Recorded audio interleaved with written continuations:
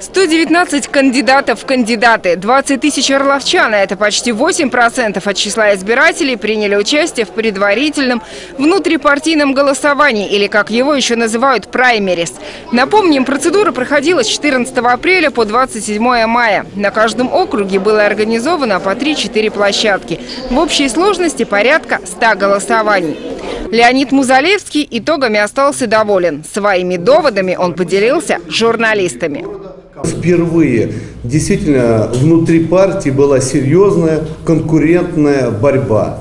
Но борьба в рамках правил, потому что выдвигались как э, члены партии, так и беспартийные сторонники. Но вместе с тем это люди э, активные, люди узнаваемые в избирательных округах.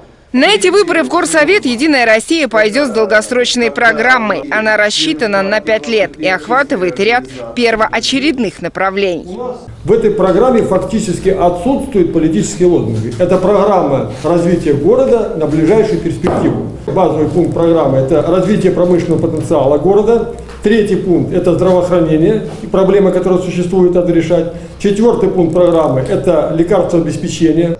Леонид Музалевский порекомендовал будущим депутатам, причем всех фракций, сконцентрироваться на реальной работе вне партийности. Тем более, что перечень дел в городе уж очень большой, хватит на все пять лет. Не секрет, что у нас сегодня в городе Орел э, ну, около 40% дорог, окраинных дорог, вообще без твердого покрытия. Это ли не проблема? И если подходить к этой проблеме, нужно не просто взять и заасфальтировать, сделать тротуар, а уж комплексно подойти, о чем сказал Михаил Васильевич. Сделать канализацию, сделать жителям водопровод, построить КНС и после этого уже заасфальтировать, чтобы на долгие-долгие десятилетия жили, жители жили, это в основном частный сектор, в хороших, комфортных условиях.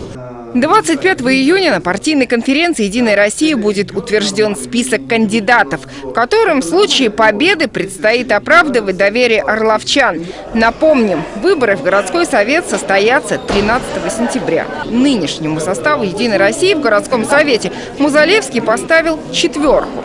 Наталья Певсерев, Эдуард Чернаускас, телеканал «Первый областной».